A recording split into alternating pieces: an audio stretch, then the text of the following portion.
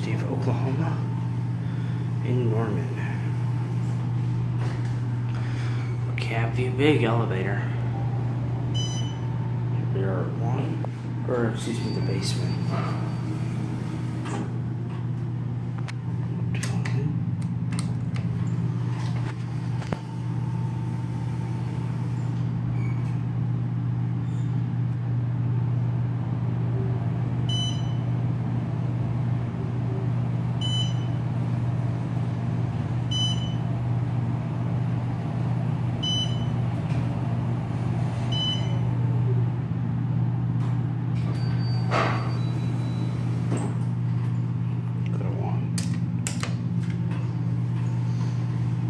Think it's just a Gen 2.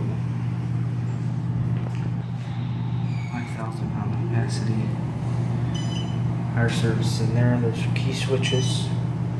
Or fixtures. Or at least. Series 5.